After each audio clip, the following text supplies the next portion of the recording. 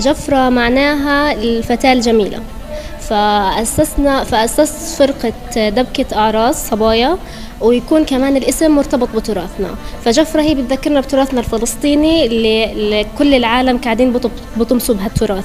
فإحنا بنحاول نحيي تراثنا عن طريق أعراسنا ندخل الفرحة بقلوب الناس نطلع مناسبات وطنية دبكة وطنية مثلا في حفلات تخرج جامعات كمان بنطلع. إنه أي امرأة أي فتاة بتقدر إنها تشتغل تتعب على حالها. إحنا بنوصل رسالة دبكة وطنية تراث بنفرجيه للعالم في نفس الوقت هو شغل إلنا.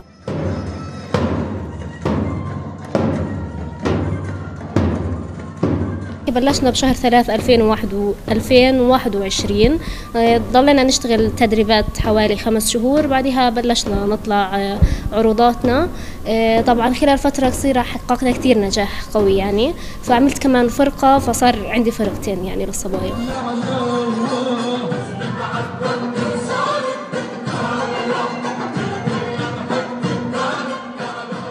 دائما مثلا بكون في دبكات وزفات لشباب ما بكون في عند الصبايا. فحلو انه إحنا كمان يكون في إلنا جزء داخلي ليكون بنات يعني نفرح كمان الصبايا.